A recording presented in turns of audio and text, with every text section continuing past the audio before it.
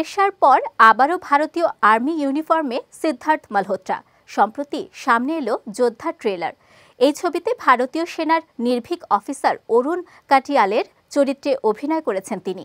শত্রুর সাথে কোনো রকম আলোচনায় বিশ্বাসী নন অরুণ। দেশের জন্য যান লড়িয়ে দেন সবসময়, শহীদ হতেও দুবার ভাববেন না তিনি। ট্রেলার জুড়ে অ্যাকশন, ইমোশন ভরপুর। রয়েছে মার কাটারি সংলাপ। ছবিতে সিদ্ধার্থের সঙ্গে স্ক্রিন শেয়ার করবেন দিশা পাটানি এবং রাশি খান্না। সিনেমাটি পরিচালনা করেছেন সাগর আম্ব্রে ও পুষ্কর ওঝা। গল্পে দেখা যাবে, বাবাকে ভারতীয় সেনাবাহিনীতে চাকরি করতে দেখে বড় হয়েছে অরুণ।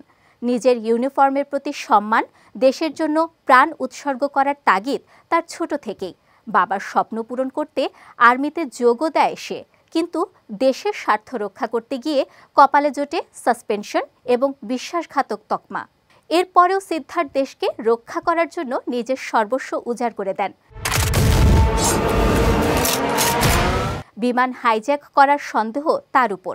অথচ মাঝ আকাশে সন্ত্রাসীদের সঙ্গে একা লড়াই করে যাত্রীদের প্রাণ তথা দেশ বাঁচানোর লড়াই করতে দেখা যায় সিদ্ধার্থকে।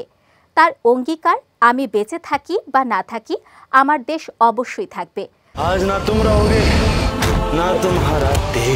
কারণ জোহারের ধর্মা প্রোডাকশনের এই ছবি পনেরোই মার্চ মুক্তি পাবে।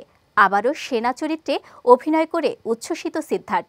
অভিনেতা বলেন সিনেমাটিতে সাহস এবং দেশপ্রেমের গভীরতা সত্যি অনুপ্রেরণামূলক। আমি সিনেমাটি দর্শকদের সঙ্গে দেখতে অপেক্ষা করছি।